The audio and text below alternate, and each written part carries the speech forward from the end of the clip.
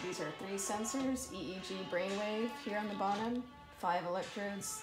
This is a GSR signal, and this right here is a PPG signal.